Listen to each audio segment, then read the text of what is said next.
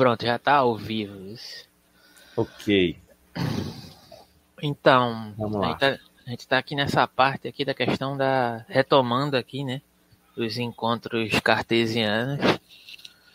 É, tu, tu chegasse a falar com o Gabriel, porque Gabriel ele poderia entrar para colocar algumas questões aqui no chat, né, se ele quisesse, né? Mas não sei se ele se ele vai entrar, se não vai entrar. Qualquer coisa manda o link para ele do do do YouTube mesmo. Eu mandei lá nos grupos, mas não sei se ele vai entrar. Ou se entraram, né? Parece que já tem uma pessoa assistindo. Ou se, se já entraram e como não tava online, o pessoal saiu, enfim. É, tu chegasse a pesquisar alguma coisa sobre a questão do, do, do behaviorismo e Descartes ou, ou não? Eu estava verificando aqui algumas questões, mas não consegui achar o livro do que eu queria para comentar sobre isso. Não, do behaviorismo em Descartes, não. Eu Beleza. fiquei, eu fiquei de dizer um negócio é, sobre é, a, a prática de experiências com animais que Descartes fazia, mas eu não consegui achar a minha fonte. Eu vou continuar procurando e aí eu digo. Certinho. Então na próxima a gente traz essa questão porque é melhor, porque para trazer dessa forma assim, acho que não vale muito a pena não. Mas enfim, vamos continuar aqui a leitura, né? A gente parou aqui nessa parte aqui de a natureza humana e as paixões, é isso? Isso. Então eu vou continuar aqui a leitura. né? E a partir disso a gente continua os comentários. O meu áudio tá bom, velho? Tá bom, tá bom. Escutando beleza. bem. A natureza humana e as paixões. Como implica seu título, o último trabalho de Descartes, As Paixões da Alma, completado logo antes de sua desditosa visita à Suécia em 1649, era um estudo detalhado das paixões, das paixões, modalidades da experiência exclusivas da união mente-corpo e que testemunham o fato de que não somos pura res cogitans, ou coisas pensantes, mas seres humanos, cuja vida cotidiana está intimamente ligada a estados e eventos corporais. É possível imaginar seres cujas vidas operem em nível unicamente intelectual, que calmamente contemplem aquelas proporções que a análise racional revela verdadeiras e calmamente persigam os objetivos racionalmente percebidos como vantajosos. Tal vida seria talvez superior à nossa no sentido de ser livre das tensões e turbulências que frequentemente têm origem no lado corporal de nossa natureza. Mas também seria estranhamente incolor em comparação com o vívido intercâmbio de emoção e sentimento que caracteriza a existência humana. Algo A famosa, a famosa expressão de Nietzsche, né? A cabeça de angelado. Cabeça de angelado. Alguns desses contrastes foram explorados por Descartes em uma carta escrita ao embaixador francês na Suécia, que lhe pediu, em nome da rainha Cristina, para explicar seus pontos de vista a respeito do amor. Para responder a sua questão, abre aspas, faço a distinção entre o amor, que é puramente intelectual ou racional, e o amor que é uma paixão. O primeiro, de meu ponto de vista, consiste simplesmente no fato de que quando a alma percebe algum bem presente ou ausente que julga apropriado para ela, ela de bom grado se reúne a ele. Mas quando nossa alma está reunida ao corpo, esse amor racional é frequentemente acompanhado por outro tipo de amor, que pode ser chamado sensual ou voluptu- voluptuoso. Este nada mais é que um pensamento confuso originado na alma por algum movimento dos nervos. Da mesma maneira que, na sede, a sensação de secura na boca é um pensamento confuso que faz a alma desejar beber. Mas não é idêntico a esse desejo. O amor é um calor misterioso sentido em volta do coração e uma grande abundância de sangue nos pulmões que nos faz abrir os braços, como que para abraçar alguma coisa, inclinando a alma a de bom grado reunir-se ao objeto a ela apresentado. Não existe razão para a surpresa em que certos movimentos do coração devam estar é, naturalmente ligados desse modo a certos tipos de pensamento, com os quais, de forma alguma, é, se parecem. A capacidade natural da alma para a união com o corpo traz consigo a possibilidade de uma associação entre cada um de seus pensamentos e certos movimentos ou condições do corpo. De tal maneira que quando as mesmas condições voltam a ocorrer no corpo, elas induzem a alma a ter o mesmo pensamento.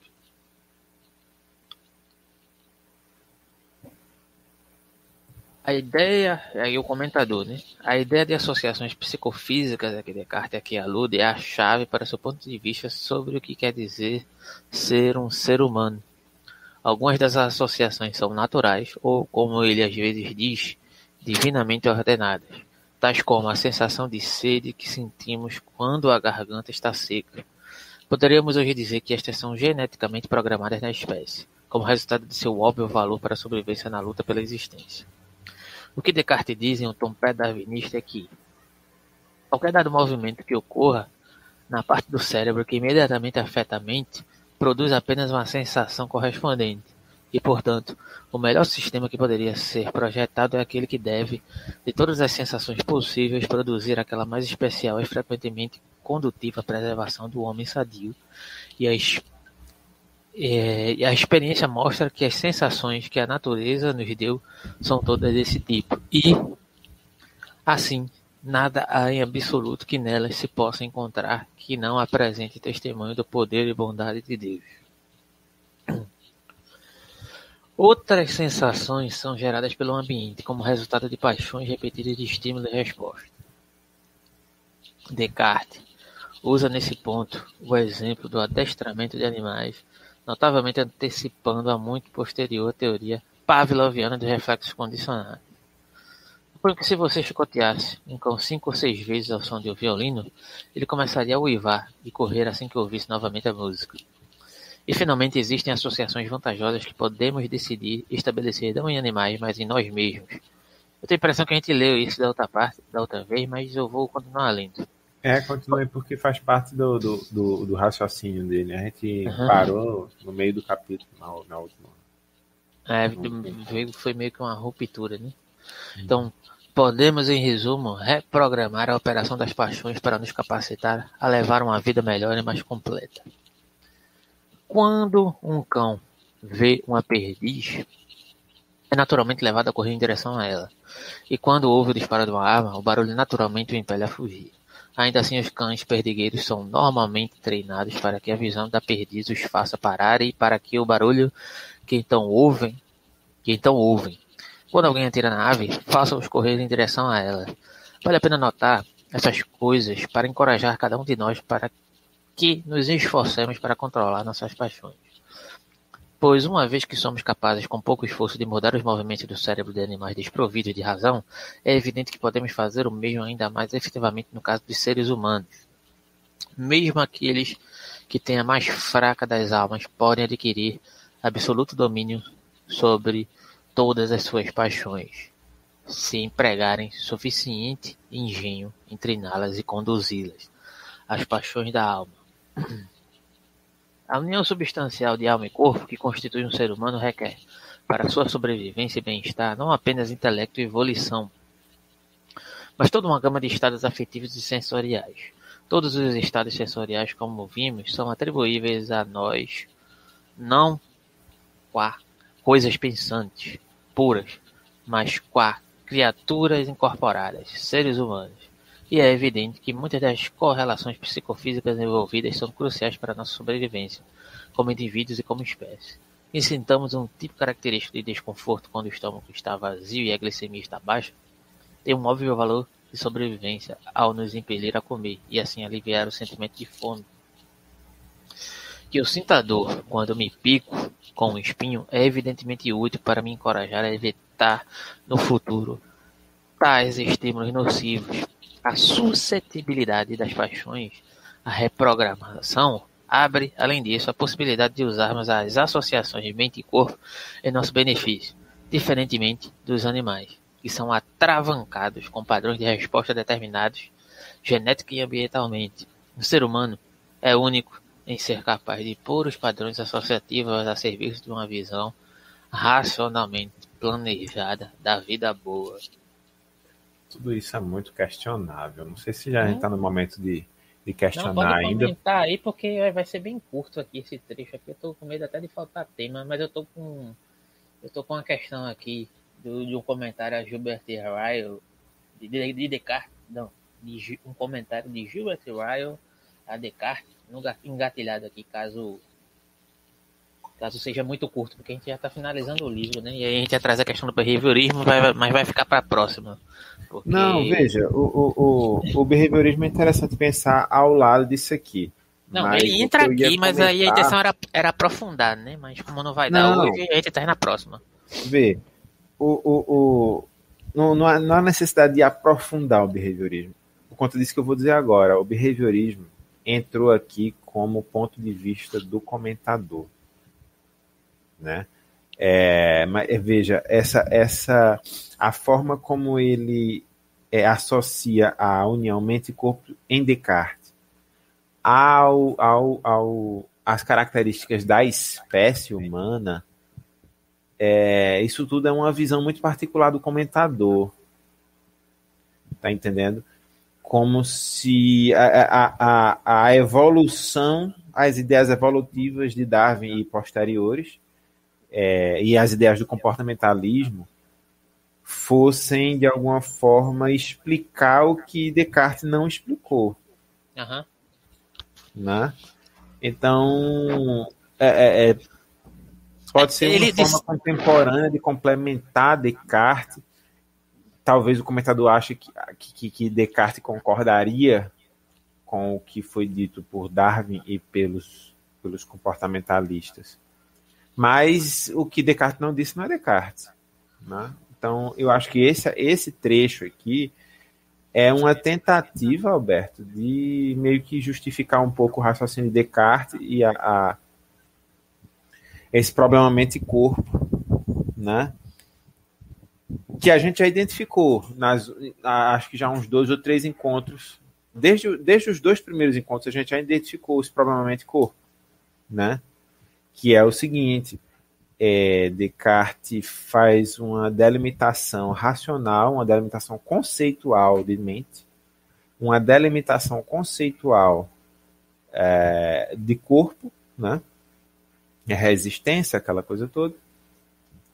E depois não sabe explicar como é que essas duas coisas estão juntas. E aí o comentador imaginou uma dimensão conceitual paralela a uma dimensão real em que esses conceitos estão conjugados para a sobrevivência da espécie. Então é como que como se os eventos do, do de, de, de adestramento do comportamento tivessem uma reverberação na dimensão extensa, resistência, na forma de estímulo, e uma reverberação na na, na dimensão da mente, né? na forma de aprendizado, na forma de, de, de não sei, pensamento, né? Então, Mas isso tudo é uma construção do, do, do comentador, Alberto. Não, sim, mas o que eu tenho a impressão é a questão de que ele está tentando justificar, de certa forma, a diferenciação entre. Esse, ele está contestando, na verdade, essa questão do adestramento que Descartes propõe, que está aí evidenciado, né? Que, que Nietzsche se debate no caixão quando escuta isso. Essa questão do adestramento, né? De, de, de treinar para, de certa forma, controlar determinados apetites aí da, da, da impulsionados por essa conexão entre alma e corpo, né? É...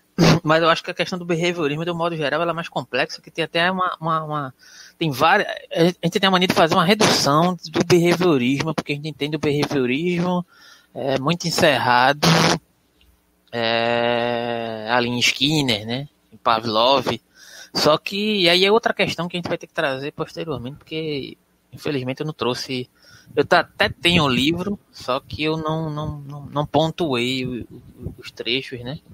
Para poder trazer aqui agora. Mas o que é questão... é especificamente do, do behaviorismo que você quer trazer aqui? para essa discussão. Não, seria um questionamento acerca de, de, dessa composição, porque de certa forma ele tenta justificar é, esses fatores aqui, porque o behaviorismo, comumente, mais simples, simploriamente falando, né, ele é entendido como aquela questão da, da, da, reação externa que é concebida a partir de um determinado estímulo, né, ou seja, não existe uma presença de uma determinada subjetividade dessa concepção, né. E há determinadas é, prerrogativas digamos, mais elaboradas do behaviorismo que vão adentrar em outros campos. Era isso que eu queria trazer, uma exemplificação, uma problematização dessa questão, dessa redução do behaviorismo. Era isso que eu queria trazer. E aí acho que é possível trazer isso, porque isso, de certa forma, vai dar margem para a questão da abertura da filosofia da mente que a gente vai abordar depois, entende? Uhum. Em certo aspecto. E aí é isso que eu queria pontuar, só que eu não, não peguei. E aí vai ficar para a próxima. Não, não se preocupe não. Hoje o objetivo eu... é terminar o livro. Mas aí é, qual é a questão aqui? Ele está, de certa forma, contestando Descartes através de uma determinada é, compreensão, né? De que Descartes diz que, que, que, que haveria é, essa predeterminação, essa diferenciação, na verdade, apesar de haver uma interconexão entre corpo e alma, né? Nesse sentido simplório aqui que, estão, que eu estou tentando elencar. É, que, que, que o, o, ele está tentando contestar Descartes a partir desse adestramento, entendendo que o ser humano é mais complexo, mas de certa forma ele está usando o mesmo argumento em um sentido contrário para deslegitimar Descartes, né? Mas porém usando um argumento naturalista para contestar essa concepção. Pelo menos eu entendi assim. É, cara, na minha visão, na minha visão, ele está tentando complementar Descartes. Entendeu? É, é porque ele faz a crítica, mas depois ele expõe uma série de ideias posteriores a Descartes que dão uma certa. É, é, é, que tem uma, uma, uma, certa ponte com, com a obra de Descartes. Entende? É, é, é, dessa forma que ele coloca Darwin aí no meio. Uhum.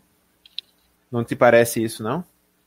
Parece, é mais ou menos o que eu estou querendo dizer, só que de certa forma, ele se vale de alguns aspectos para poder é, dizer, olha, o ser humano ele não está passível de ser adestrado. Ele não está passível de ser adestrado porque ele é mais complexo do que isso. Mas ao mesmo tempo, Descartes estava tentando seguir nessa direção, só que é o que você disse, ele está tentando complementar Descartes, mas ao mesmo tempo ele está dizendo que Descartes estava, é, digamos, seguindo por um caminho que talvez é, fosse um pouco confuso, né?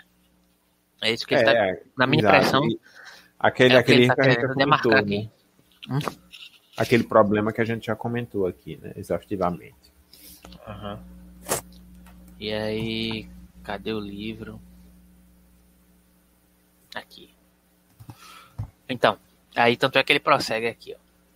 A suscetibilidade das paixões, a reprogramação, abre além disso a possibilidade de usarmos as, as associações mente e corpo em nosso benefício diferentemente dos animais, que são atravancados com padrões de resposta determinados, genética e ambientalmente. O ser humano é único em ser capaz de pôr os padrões associativos a serviço de uma visão racionalmente planejada da vida boa.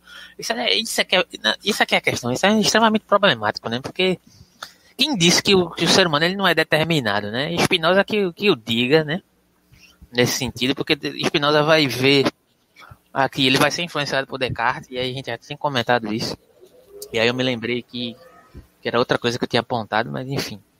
É, essa determinação, essa conceituação, quem disse que essa conceituação ela exime, é, ela, na verdade, essa conceituação, mente e corpo, né, ela, ela, ela de certa forma, ela pode ser um tipo de, de autonomia né, que o ser humano tem em detrimento aos animais, né? Essa é a questão, né? Acho que esse é o problema, né? E aí ele coloca também uma questão ali né? Que parece até uma questão moral, né? Quando ele fala ali de, de pôr padrões associativos a serviço de uma visão racionalmente planejada da vida boa, ainda por cima. Da vida boa. Que vida boa é essa? Gostaria de saber. é, é uma, é uma coisa que, não sei, hoje, hoje a gente classificaria como arrogante, né? Uma arrogância da razão sobre a, a, a paixão, né?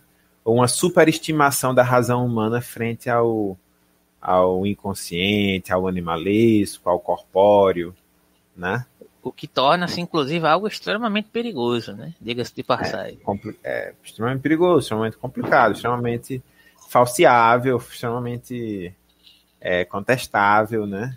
a gente não pode afirmar hoje em dia, depois, é, é diante das violências que a gente tenta entender na nossa sociedade, a gente não pode afirmar que o ser humano é, é mais racional do que, do que passional. Né? Que o ser humano é capaz de, de juntar corpo e mente para viver uma vida racional, uma vida boa. A gente não pode afirmar isso. Essa não. vida boa no, no nosso mundo, até hoje, só existiu com base em uma série de injustiças sociais. Né? E digo mais, digo mais. E aí eu vou, eu vou, eu vou além né, nessa questão, porque essa mania que nós temos de, de, compreender a racionalidade como algo necessariamente bom, ele é algo extremamente violador. Por quê? peguemos a história da, da, da é, concebida da, da filosofia que é con, con, considerada até hoje a filosofia predominante, né? A filosofia ra, extremamente racional, a filosofia eurocêntrica de um modo geral, né? Ela se pauta em um determinado aspecto centralizador que se baseia nessa ideia de racionalidade, que é uma racionalidade que é igual a si mesma, que é igual uh, aos seus intuitos, digamos assim, em sua origem que tem padrões estruturais que são necessariamente colonizadores. Em que sentido eu estou querendo dizer colonizadores? Desde a origem é, de quando começou-se a haver dominações de povos sobre outros povos mais vulneráveis. A partir do momento que há essa questão, digamos, histórica, antropológica e etc., né, há uma determinada dominação que reconhece e aí e entra Nietzsche aí nessa questão, viu? Entra Nietzsche nessa questão aí, é a questão da genealogia.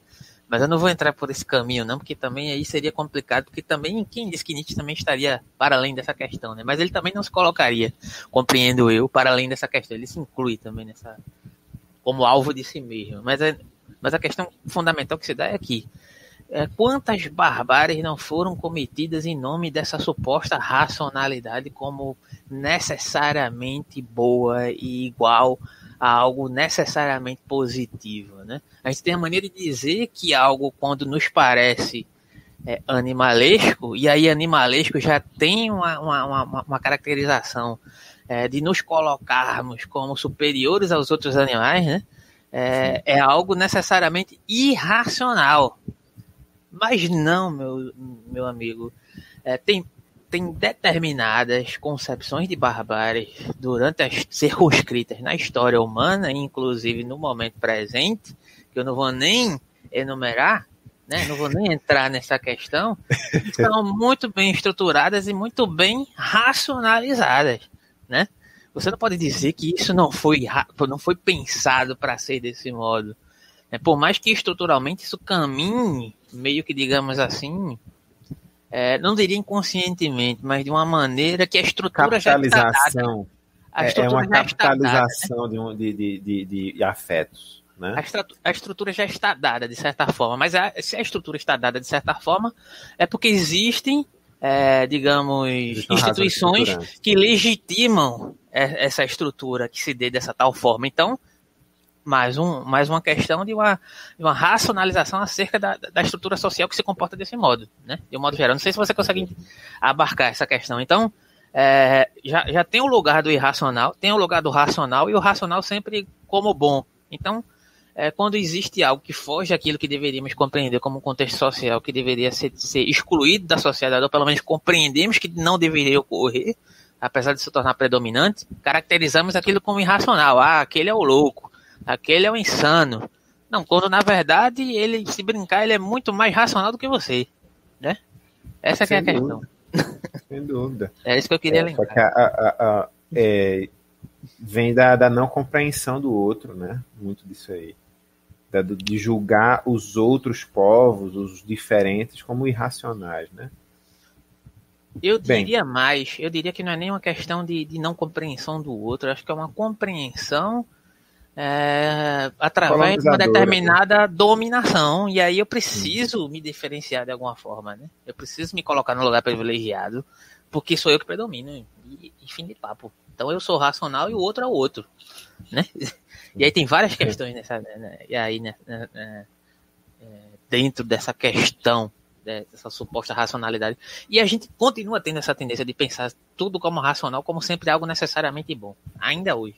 Mas enfim. Pois é, esque esquecemos da, de, de, de como a, a, gente vive numa estrutura racional que capitaliza a desrazão. Uhum. Né? Estruturas de poder racional que capitalizam a desrazão. Bem, é isso. Então discordamos do, do comentador, né? Nesse sentido, sim. Nesse sentido, sim. Agora vamos prosseguir aqui. Vamos ver onde é que ele vai parar. A conclusão de Descartes é que as paixões vêm de nossa herança corporal, que vêm de nossa herança corporal, devem ser abraçadas, já que sua operação em geral está intimamente ligada ao nosso bem-estar. Isso não é dizer que elas sejam sempre indiscutivelmente boas. Olha, ele respondendo aqui. Graças ao modo relativamente rígido em que operam os mecanismos fisiológicos inatos e as respostas ambientalmente condicionadas. Podemos ficar presos em comportamentos. Tu tá falando, Ítalo? Eu acho que não tá saindo, é todo. Se tu estiver falando, dá uma lua aí. Não, é, eu, eu, resolvi tirar o, é, tirar o microfone por um, um minuto. É porque eu vi umas movimentações aí do teu. Mas enfim. É, e as respostas ambientalmente condicionadas podemos ficar presos em comportamentos que nos levem ao desconforto, miséria ou sofrimento. Vou repetir essa parte aqui. É, cadê? Hum, a conclusão de Descartes é que as paixões que vêm de nossa herança corporal devem ser abraçadas, já que sua operação em geral está intimamente ligada ao nosso bem-estar. Isso não quer dizer que elas sejam sempre e indiscutivelmente boas, graças ao modo relativamente rígido em que operam os mecanismos fisiológicos inatos e as respostas ambientalmente condicionadas. Podemos ficar presos em comportamentos que nos levem ao desconforto, miséria ou sofrimento. Isso aqui é bem epícoro, né? O homem que sofre. Eu achei, eu achei mais uma vez a influência do behaviorismo aí na, na abordagem do autor podemos ficar é, é, é, essa coisa de, ambi de, ambientalmente condicionadas aqui, né? Ele está tá colocando uma coisa que é muito da, eu acho que da, da compreensão dele de mundo, né?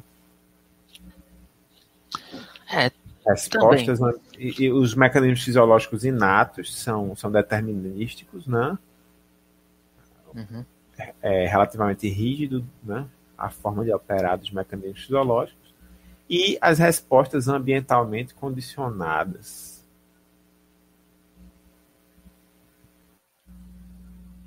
Ele está o tempo todo com, comportamentalismo. Ele está pensando que o, o, ambiente condiciona determinados tipos de respostas pré-definidas e isso é determinante para a atitude do sujeito. É, em certo sentido. é que existe sujeito aqui, né? em certo sentido, o ambiente ele condiciona. Só que o problema desse tipo de visão behaviorista é que é, ele tem um, um, modo de lidar com esse condicionamento que é muito específico, né? É um condicionamento dado a, né? É. Não é uma, reação, uma, uma, uma relação dialética, como muitos outros preferem é, é pensar a, a relação do, do homem com o meio, né? Uhum. E aqui não, aqui é um, um determinismo, né? E aí, seguindo aqui. No... Eu vejo, eu vejo a, a, a, o condicionamento ambiental como um, um determinismo. E, e, esse, esse determinismo ele precisa ser, levar em, ser levado em conta, sim.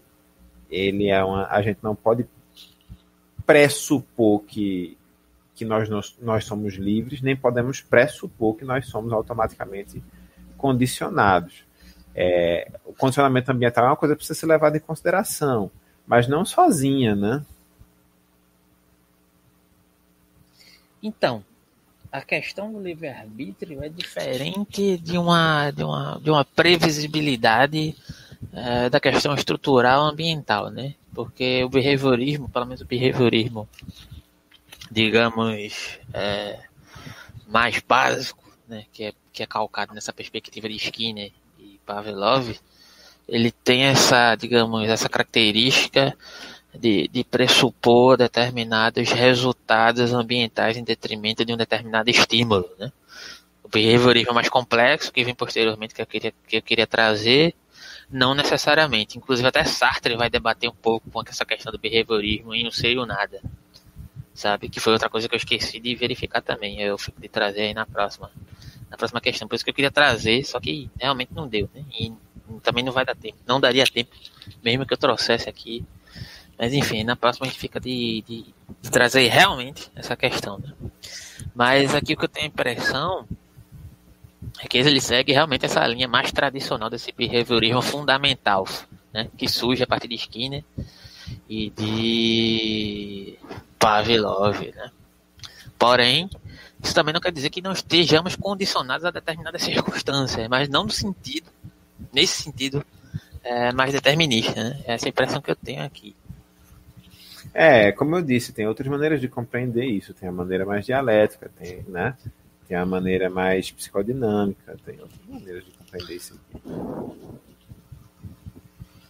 Uma área que tem me interessado bastante é a área da, da, da psicologia cognitiva. Eu não sei se tu se interessa por essa área. Mas... Claro. Mas, mas qual, qual, em qual psicologia cognitiva exatamente tu está falando? Piaget, Vygotsky? Não, eu tô falando de, de, discussões mais contemporâneas que estão ligadas a noções de, por exemplo, é, questão que vai questionar, por exemplo, os fundamentos da noção de livre-arbítrio enquanto estímulo, que justamente nesse campo aqui. Tem um pesquisador chamado Álvaro Dias, né, que ele é especialista, eu me esqueci exatamente qual é o, o nome da, da, da, da área de pesquisa dele, mas é ligado a essa noção da escolha, né? Essa essa predeterminação diante de uma, de uma, de uma concepção, de, uma, de um suposto, é, digamos assim, mapeamento é, de determinados estímulos que compõem, é, de um modo geral, o aparato cognitivo de um modo geral. Né? E aí ele trabalha nessa área de pesquisa, levando em consideração vários aspectos nesse sentido. Só que ele não caminha para um, um, uma perspectiva que se coloca como algo, digamos assim, determinista, no sentido. É, Tradicional. Que, por né? exemplo, está sendo elencado aqui na questão do behaviorismo. Né? É, é, uma, é uma área que procura verificar outros aspectos elencados a, a essa, essa área da cognição, de acordo com essa, essa concepção de, digamos, por exemplo, de tendências que existem né, na área do, do, do da, da, área que é, que é delegada à própria concepção da relação né, conceitual com a questão do, do, do, do, do, cérebro de um modo geral, né, de como isso poderia, como, como poderia se dar de acordo com determinados mapeamentos. Né. Então, o que, é, o que eu acho interessante aqui para essa discussão é justamente como essa perspectiva ela vai mudando né, nessa noção de, de, de, como é entendida essa mente. Porque, de certa forma, é o que Descartes está falando aqui. Né? Descartes está tentando fazer um mapeamento da condição humana a partir da, daquilo que ele tinha conhecimento naquele determinado período. Né? E aí, de certa forma, é, diante dessa psicologia cognitiva mais atual e mais contemporânea, será que, que não seria um tipo de, digamos assim, de, de de investigação aos moldes que Descartes faria se vivesse essa época, né? Se tivesse as condições de possibilidade de, de, de, pesquisa que nós temos atualmente, né? E aí, e mesmo assim, mesmo um cara comentando Descartes agora, ele está recaindo em erros, né? Que ele mesmo, de certa forma, está se colocando a criticar aqui, né? Erros entre aspas, né? Porque né, na minha visão aqui, né, de simplificação daquilo que está sendo elencado, essa questão de, de criticar Descartes por de certa forma, fazer um caminho, segundo o comentador, tortuoso, mas ao mesmo, ao mesmo tempo ele recai em certos determinismos que possivelmente acho que nem ele enxerga, ou se enxerga, já concebe-os como, como pressupostos dados, né? Pelo menos eu vejo desse modo. Não, não tem jeito, pô. A gente fazer, a gente vai, vai produzir uma visão de homem, a gente sempre recai em determinados pressupostos não demonstrados. Sempre, sempre, sempre. Mas é, é, faz parte, né? Faz parte. A única coisa que resolve isso é a crítica permanente dessa visão, né? E aí ele segue aqui. O homem que sofre de hidropisia, para usar um dos exemplos de Descartes, tem um forte desejo de beber, mesmo quando o líquido é a última coisa que sua saúde requer. Ou para tomar um intrigante exemplo da própria vida de Descartes, o filósofo era vítima de uma infeliz atração por toda a mulher vesga, simplesmente porque quando o menino apaixonou-se por uma moça estrábica. Mas o modo apropriado de conviver. Que loucura. Ah, mas tem dessas Isso coisas. é né? muito doido, poxa. Tu acha? Eu, eu não acho tão estranho assim, não, mas enfim. Não, é um, um, um- um, digamos assim, um fetiche, né? O desejo vai pra. Nem isso, eu acho que é tipo. Cara, é complicado até explicar isso assim, sem fazer uma pesquisa prévia, mas eu acho que tem alguma relação com algo que, que de certa forma, foi internalizado nessa relação para com o meio. Eu acho que é isso que ele está querendo justificar, de certa forma, sabe? Mas em certo sentido faz sentido, né? Que marca, digamos, a alma do indivíduo de uma forma que nem ele consegue racionalizar isso, sabe? E ele, ele continua recaindo em uma certa tendência, sabe? É... A, uma tendência a determinado algo. Agora, você dizer que, que, que você não pode pegar um ser humano e, e digamos assim, expor a, a, determinadas experiências e esperar o mesmo resultado. Mas é algo que se dá de uma determinada forma. Agora, por quê? Por que é a questão, né? é, eu vejo isso aqui a partir de uma, uma perspectiva completamente diferente. Né? A minha perspectiva é, é, psicanalítica vai pegar isso aqui e vai dizer, não, isso aqui é o, o desejo aponta nessa direção, porque houve um aprendizado nessa direção. O, o, o, o rapaz, o, o, pequeno Descartes, o pequeno René, né? O pequeno René, Renézinho. Renézinho se apaixonou pela por uma moça vesga, uma moça estrábica, né? E depois de adulto, o adulto é, continuou tendo aí uma, uma é, é, revivendo a, a, o sentimento que viveu antes, né? Isso é, isso é bem comum. É, a gente pode, pode trabalhar aqui com o conceito de compulsão à repetição, ou pode trabalhar com o conceito de, de é, que, que o Winnicott usa, eu estou esquecendo da palavra exata, mas é no sentido de, re, de revivenciar é, é, algumas, algumas fases da vida, sabe? Existe um adolescente dentro do adulto, existe uma criança dentro do, do adolescente, existe uma criança dentro do adulto, né? As fases da vida, elas não são superadas, sabe como é? Sim, entendo. Elas podem, ter, podem ser revividas. E aí você pode escolher qual dessas, dessas duas abordagens você vai dar. E aí, eu acho que tá um... abordagens psicanalíticas, entendeu? E aí eu acho que está um diálogo interessante entre a questão da psicanálise e a questão da, da, da, psicologia cognitiva. Tu foi falando aí, eu fui me lembrando acerca de algumas questões. Né? A psicologia, essa psicologia cognitiva mais contemporânea, ela trabalha é, justamente diante de uma análise comportamental geral humana, verificando as possibilidades, digamos assim, é, de, de repetição do comportamento humano de um modo geral a nível coletivo digamos assim, eu tava, é, eu tava assistindo uma peça agora de, de, ao vivo, Crime e Castigo. Eu ia até te mandar, mas eu não sabia se tu tava em reunião ou não. Mas eu, eu gravei, eu acho que, que eu baixei aqui, qualquer coisa eu te mando. Mas aí ele, o, que é o, o que é o diálogo é, que, que, há nessa peça? Porque é tipo uma adaptação mais contemporânea, né? Eles usam um texto base de Dostoiévski, mas eles tentam readaptar, o cara coloca até Nietzsche no texto. é muito interessante. E aí ele entra nesse diálogo de dizer que, diante da, da, da exposição do indivíduo ao meio, né? Aquele velho diálogo lá de, de, de Rob Rousseau, né? Que, que, ah, o homem é o lobo do homem. Não, o homem é bom por natureza, o meio é que o corrompe. Né? É essa discussão que a gente está tendo aqui, né? De certa forma, ele faz uma determinada associação, por mais que a psicanálise ela tenha a tendência, de certa forma, a se colocar para além dessa questão, ela está envolvida nesse debate aí, de certa forma. Será que ela não está meio alinhada com, com essa, essa noção é, em Rousseau de um determinado estímulo que o indivíduo absorve, que, que tende a repetir porque foi afetado de tal modo? E aí, de certa forma, também a psicologia cognitiva está colocando isso como, como objeto de investigação, de procurar entender, pelo menos, é, as tendências gerais humanas a, a se comportarem de tal modo, sabe? Porque, porque é, essa área da psicologia cognitiva é muito utilizada no sentido de, por exemplo, campanhas publicitárias, né? Campanhas publicitárias sérias, não bobagem de coach, de, de, de você é o que você pensa, essas, essas idiotices, não nesse sentido.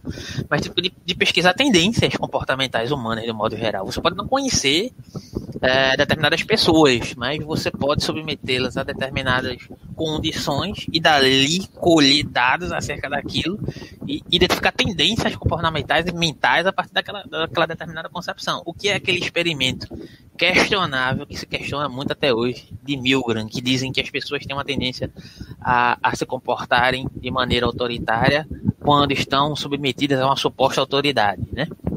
Comportar de uma maneira mais violenta, que elas se sentem mais desinibidas. O que é isso? O que seria isso? Isso é questionável. Eu sei é, que dentro da academia há, há determinadas, digamos, objeções a esse experimento, né? falando de, de, de, várias questões que são elencadas.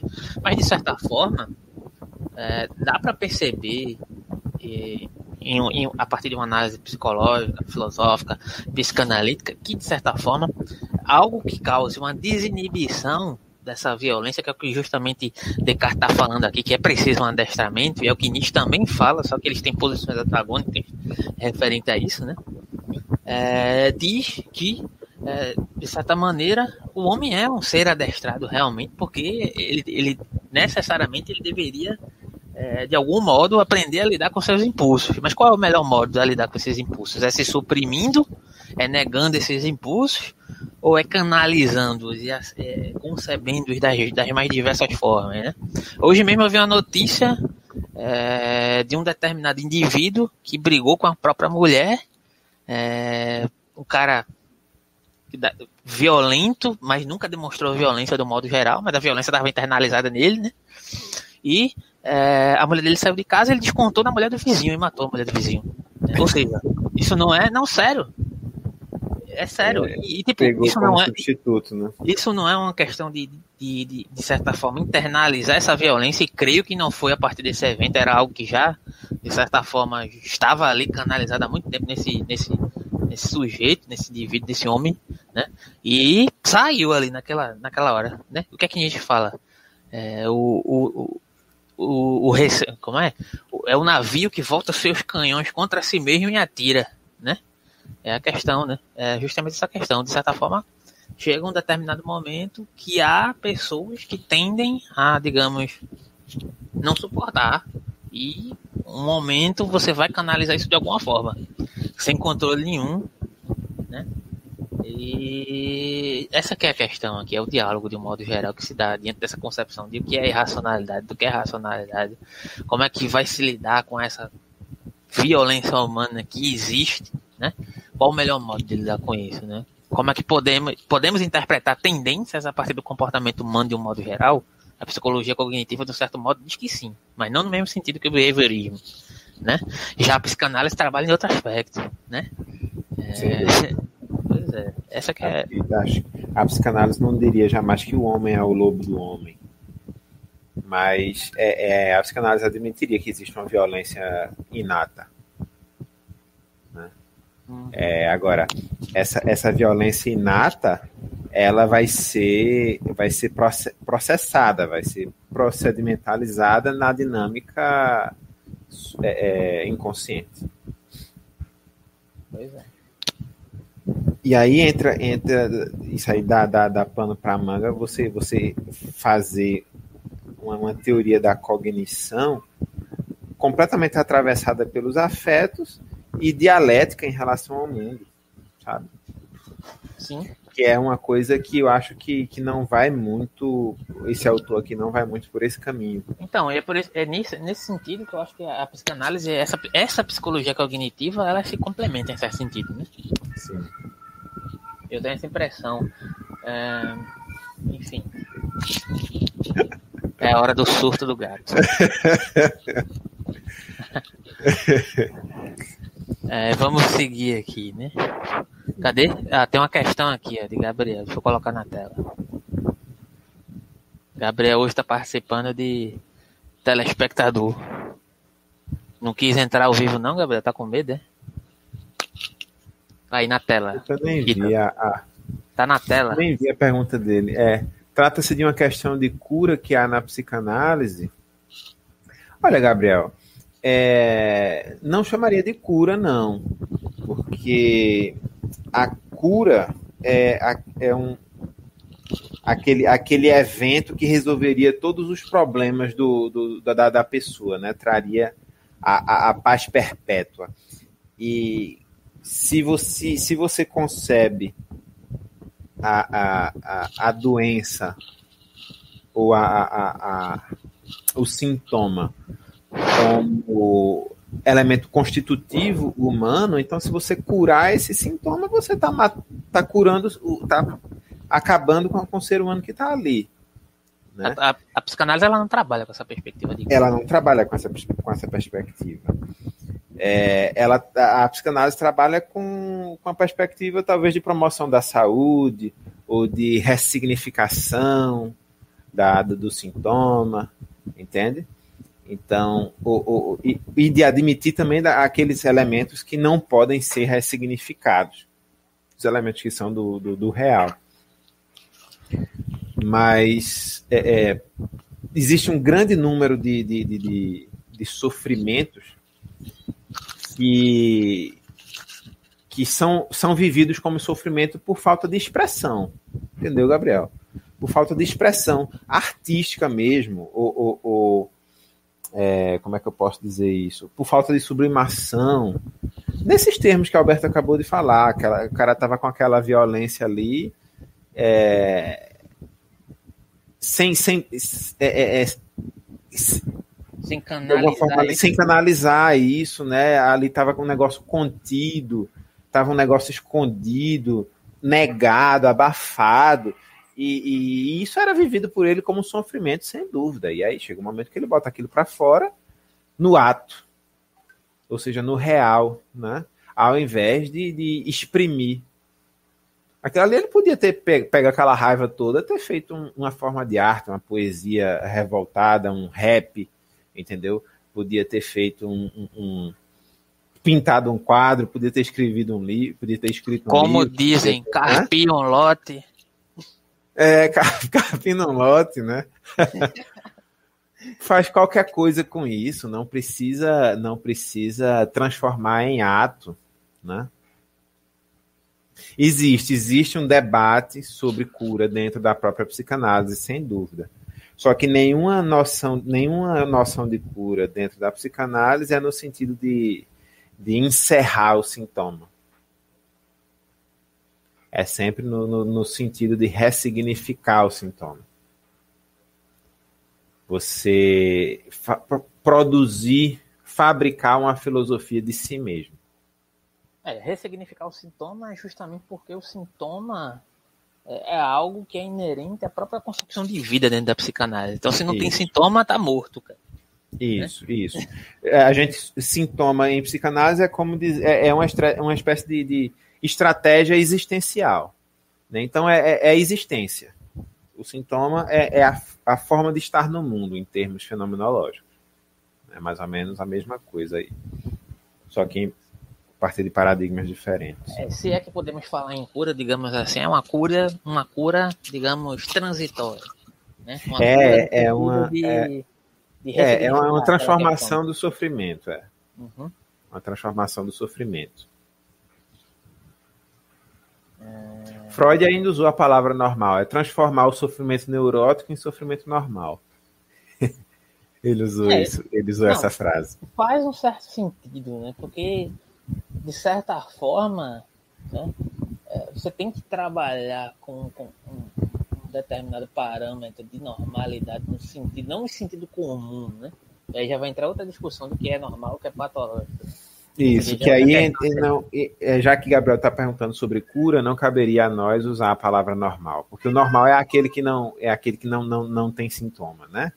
É aquele que está bem, que está gozando da saúde, e não é esse o caso, não é essa a discussão em psicanálise. Uhum. Por exemplo, esse gato aí, ele não está curado, não. Olha, toma. Mas é, mas Freud usou essa palavra porque no tempo dele cabia usar. No nosso, no nosso é mais complicado o vocabulário, mas a ideia continua sendo a mesma de Freud lá atrás. É você transformar um sofrimento neurótico em um sofrimento normal. Só que agora a gente não usa mais o normal e o anormal, né? A gente usa o, o, o, o existente e, e, as, e em, em comparação com outras possibilidades de existência.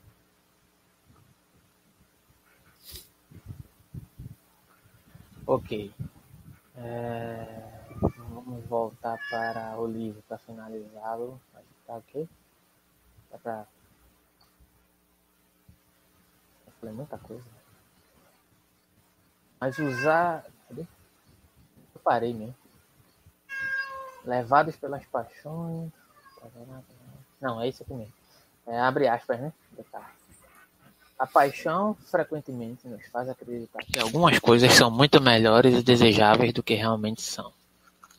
Então, quando tivermos tido muito trabalho para adquiri-las e no processo tivermos perdido a oportunidade de possuir bens mais genuínos, sua posse nos mostra seus defeitos e, daí, vem insatisfação, arrependimento e remorso. E, assim, a verdadeira função da razão é examinar o justo valor de todos os bens cuja aquisição parece depender de algum modo de nossa conduta, de forma que nunca falhemos em devotar todos os nossos esforços em tentar assegurar aqueles que são de fato mais desejáveis. Frequentemente, no entanto, as paixões representam os bens para os quais tendem com o maior esplendor do que realmente merecem e nos fazem imaginar antes que os possuamos que os prazeres são muito mais intensos do que nossas experiências subsequentes o mostram ser.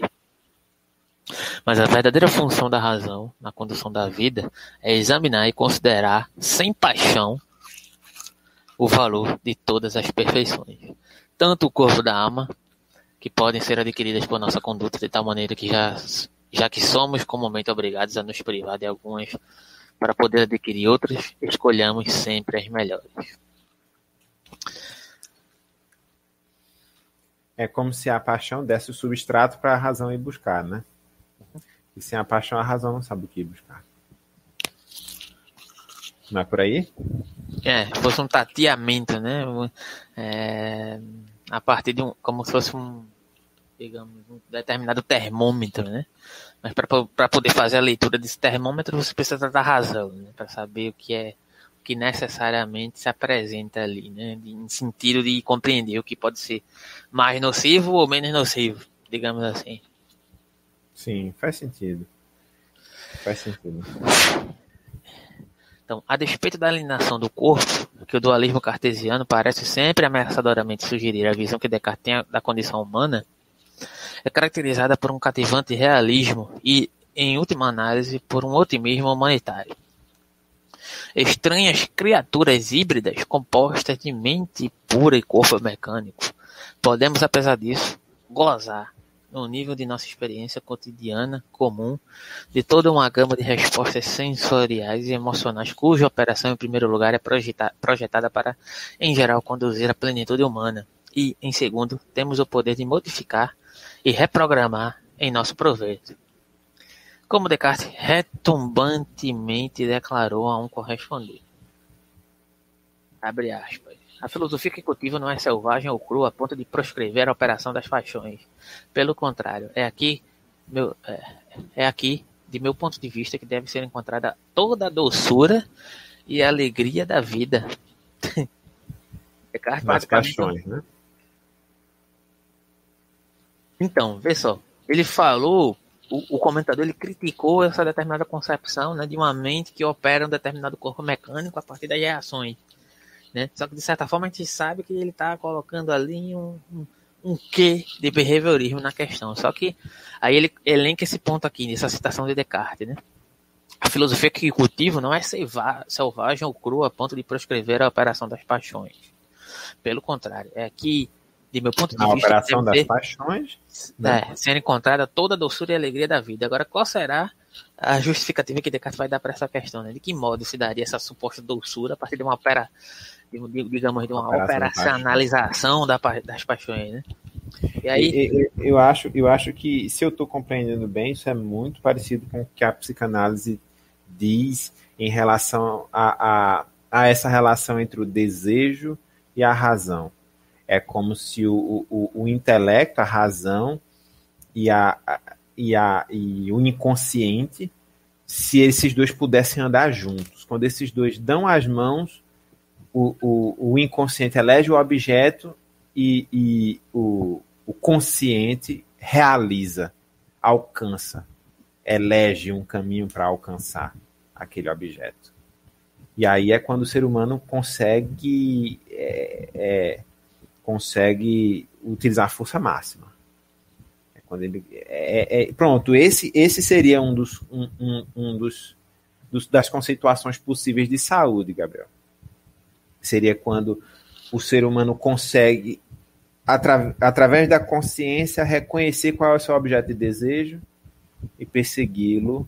É, ou seja, realizar o, o, o, desejo inconsciente através do, da consciência, através da razão. Né? Canalizar o, o poder da razão para realizar o, o, aquilo que, que o inconsciente pede. Né? mas eu, eu acho que a questão aqui é, ela se torna justamente na, na delimitação né, do que é que é, volta a mesma questão que a gente falou durante todo esse livro é, o que é coisa de razão o que é coisa de paixão né a razão também não é coisa de paixão e aí Descartes faz todo um, um mapeamento para delimitar determinadas concepções né e aí ele volta volta essa questão desse diálogo é, porque tem aquele negócio que a gente viu ali naquele dicionário, né? Que o, o intelecto inclui paixão, um negócio assim, né? Tem toda uma questão conceitual. Mas independente dessa questão conceitual, eu acho que quando ele diz é, é, é, na operação das paixões que deve ser encontrada toda a doçura e alegria da vida, eu acho que isso é mais ou menos claro, não é não? A, a, afinal de contas, é mesmo nas paixões que a gente encontra a doçura e a alegria da vida, não é em outro canto. Me, e isso aqui não pressupõe um adonismo, não, tá? Não, eu sei. Só que ainda assim você coloca de certa forma um determinado antagonismo entre ambos, sabe? É, pelo menos em termos de, de objetos, né? É, o que de certa maneira poderia trazer alguns problemas nesse sentido. Né?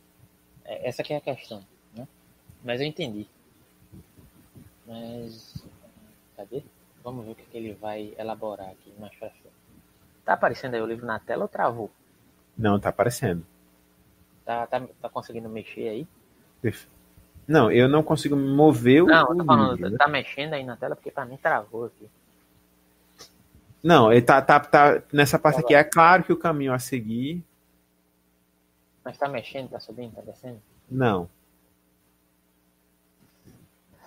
Enfim, não, tá é claro que é, que o caminho a seguir, é, Descartes algumas vezes reconhece que será frequentemente difícil. A força das paixões pode nos levar a colocá-las em mau uso, e a forma em que as coisas resultam é de qualquer jeito influenciada pela dimensão externa da fortuna, sobre a qual não temos controle. Não há garantias, mas a nobreza da visão cartesiana quanto à condição humana está em sua clara aceitação disso e da inerente fragilidade Todavia, a possibilidade de prazer que tem origem no lado inescapavelmente corporal da humanidade. Abre aspas. Os prazeres comuns à alma e ao corpo dependem inteiramente das paixões. E, assim, as pessoas cujas paixões podem emocionar mais profundamente são capazes de aproveitar o mais, os mais doces prazeres dessa vida. É verdade que elas é, podem. Aqui. Alberto, só um minuto. Estou te interrompendo porque o, o é, eu só consigo ver até esse, essa palavra mais. Ah, é isso que eu tô falando. As pessoas cujas paixões podem emocionar mais profundamente são capazes de aproveitar os mais. Deixa eu parar a transmissão aqui e voltar do compartilhamento do negócio. Ver se volta. É isso que eu perguntei. Hum...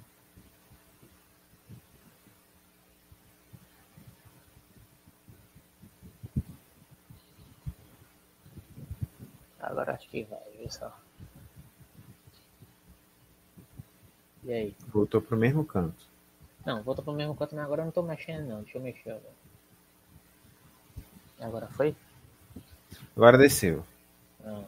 Isso. Vá, de, desça até o fim da citação. Perfeito. Perfeito. E acabou. E aí ele deixa. Enfim, eu vou repetir a citação. Tá. Os prazeres comuns à alma e ao corpo dependem inteiramente das paixões. E assim, as pessoas cujas paixões podem emocionar mais profundamente são capazes de aproveitar, aproveitar os mais doces prazeres desta vida. É verdade que elas podem também experimentar a maior amargura, quando não sabem como pôr tais paixões em bom uso e quando a fortuna trabalha contra elas. Mas o principal uso da sabedoria está em nos ensinar a ser mestres de nossas paixões e a controlá-las com tal destreza que os males que elas possam causar sejam perfeitamente suportáveis e mesmo tornam-se fonte de alegria. É, terminou com chave de ouro, né? Terminou com a, com a, com a parte otimista da filosofia. Mas eu, eu, eu, eu gostei, eu gosto desse tipo de pensamento, porque realmente a, a razão precisa exercer uma função de, de, de mestre, de contorno, de moldura para a paixão. Se não for isso, vai restar o quê, Ítalo? Porque, tipo, é, é a mesma proposta que se dá na, na literatura de Dostoiévski, eu me lembro da leitura que a gente fez de Um Sonho de um Homem Ridículo, você lembra? Sim, acho que você não vai esquecer. Eu acho que é a mesma coisa. Tipo, a gente precisa acreditar que, que, que há uma, um amanhã melhor, que há, que há um significado na vida, além de, de, de, de envelhecer, se tornar mais senil, caquético, é, imprestável a cada dia que se passa.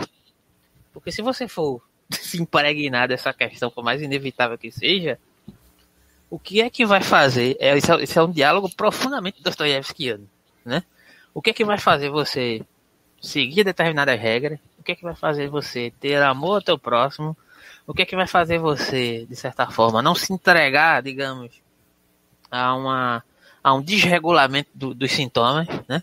O que é que vai fazer você é, procurar essa suposta estabilização. Né? É a proposta de Descartes. Né? Descartes vai, vai fazer esse caminho inteiro né, do eu penso para poder chegar numa determinada concepção otimista acerca da, da, dessa priorização da racionalidade, que de certa forma é questionável em vários outros aspectos, porém, em outro sentido, em vários outros sentidos, na verdade, é, necessitamos dele. Sem dúvida, sem dúvida. Porém, a totalização dele também se torna problemática e se torna uma questão de, de, de um desregulamento dos sintomas, como você bem elencou aí, em, em, outros aspectos, né? Essa que é a questão principal, né? O que é a proposta de Dostoiévski, que, eu quase correu uma lágrima lá, tipo, imaginar aquele paraíso dostoiévskiano, tipo, porra, quem é que não gostaria que isso fosse possível, realmente alcançável? Essa suposta hegemonia humana, esse suposto que parece aqueles panfletos do que os testemunhas de Jeová entregam na tua porta. Tá ligado? Você tá ligado? Uhum. Todo mundo gostaria de viver um estado de, de felicidade plena. Mas não, não, é possível. Mas pelo menos é possível imaginar. E porque é possível imaginar, é que em certo sentido a gente vai trazer uma determinada motivação em meio à desgraça, digamos assim. Isso, a gente, a gente, não pode mudar sem, sem direção, sem rumo, né? É, a, existe toda mudança, existe. Em toda mudança existe um aspecto aleatório. Mas a gente muda é, em direção a algo também, né? A gente Me lembra. A construção de alguma coisa. Me lembra também outra questão que está elencada lá em Marx e na questão da concepção dos marxismos, né? É, se compreende muito mal Marx no sentido de achar que Marx é um tópico por excelência, e na verdade ele é um antiutópico por excelência. Mas não quer dizer, pelo fato de ele ser um antiutópico por excelência, se basear na expressão hegeliana, digamos, da realidade, para trazer, de certa forma, um esgotamento da alienação dos aspectos, digamos, materiais, né? Da realidade, das abstrações da realidade para trazer uma expressividade material, que ele não tem um determinado objetivo com essa, com essa instrumentalização que ele faz a partir da dialética, dialética hegeliana, né? Ele acredita, né, que fazendo uma interpretação rigorosa dos aspectos materiais da realidade, ele pode, de certa forma, intervir nesse processo material, né? Mas não é porque ele é um tópico, mas é porque ele acredita em uma intervenção no processo material da história, de modo geral, em certo sentido, né? E, e aí... E a, e a, gente precisa acreditar nisso, né? Quer dizer, senão qual, qual o, o sentido da ação humana, né? Eu acho que é isso. Por hoje, né? Por hoje tem, mais, é tem mais alguma declaração a fazer? Na próxima. É... Quer deixar aí algum, alguma, alguma finalização para de proposta para o próximo encontro aqui, na próxima segunda-feira? Não, na, na próxima segunda-feira a gente tem o quê?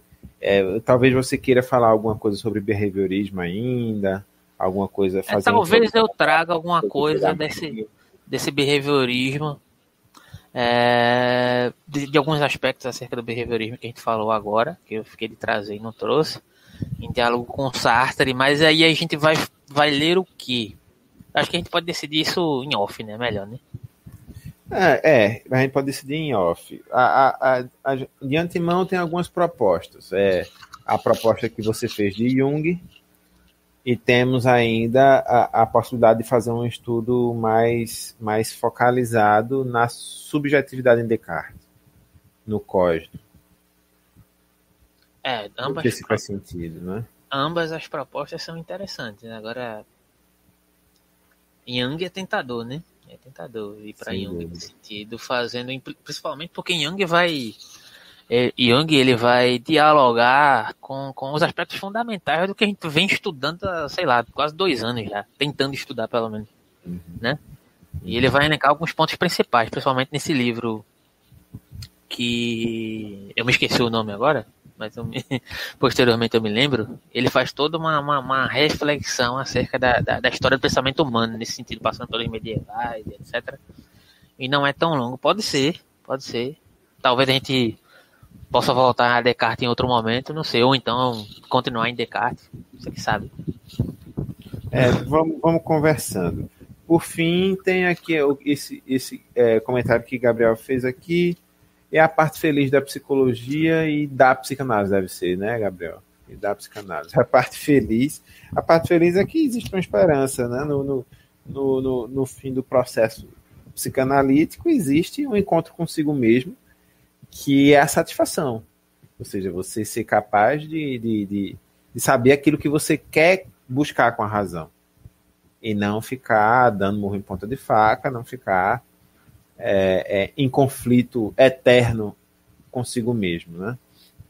É possível que essas, esses. Já que a psicanálise não vê o ser humano como uni, é, como unívoco, como único, como unidimensional, né? como o código, como o código cartesiano, é, exist, existia sempre a possibilidade, e existirá sempre a possibilidade de, do ser humano se, se, se é, brigar consigo mesmo, né? Mas não é preciso que a gente fique brigando conosco o tempo todo. Tá? A gente pode. Então, a felicidade em, é justamente essa certos parte. momentos é, pegar na mão do nosso desejo e, e, e, seguir com ele, né? A felicidade, como diria Heidegger, quando você para para, de certa forma, racionalizar ela, é porque ela já se foi. É justamente essa questão, né? É, é parar, como, como o Ítalo disse agora, quando a felicidade é, são esses raros momentos quando você para de brigar consigo mesmo e você esquece da sua própria existência, na, naquele, naquela fração de segundo. Pelo menos na interpretação heideggeriana, é algo próximo a isso. Perfeito. Enfim, é isso. E hoje terminamos com chave de ouro. Grande abraço. Até.